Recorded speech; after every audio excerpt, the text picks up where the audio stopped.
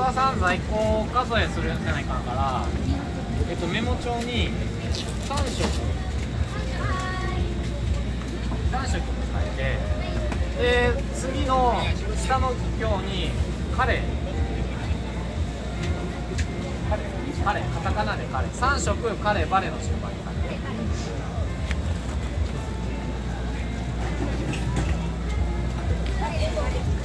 でカップレインボーを分けるレインボー、うん、3色カレーバレカタカナで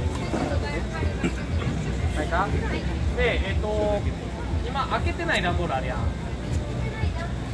こっちから。こっからで丸1丸2丸3は3色。うん。あちょっと待ってよ。えっ、と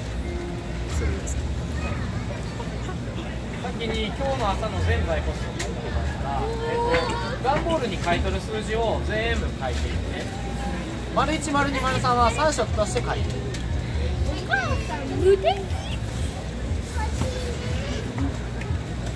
もうすぐできますからね。ちょっと待っててくださいよ。